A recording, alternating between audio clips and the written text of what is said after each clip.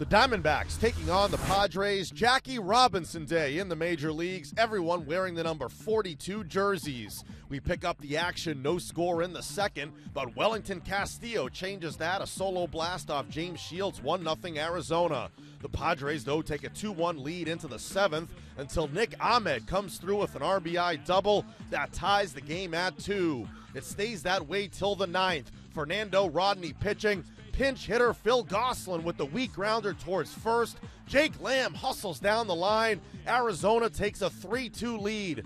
Bottom nine, though, runners at the corners, nobody out. Brad Ziegler pitching. He strikes out Alexi Amarista for the first out. Alexei Ramirez steals second on the play. Now with the bases loaded after an intentional walk, Jon Jay grounds into the game ending 6 4 3 double play. Ziegler loves it. So do the Diamondbacks as they win it 3 2. Zack Greinke with his best start of the season. He gets a no decision, allowing two runs in seven and a third frames. The series continues on Saturday. Shelby Miller up against Andrew Cashner.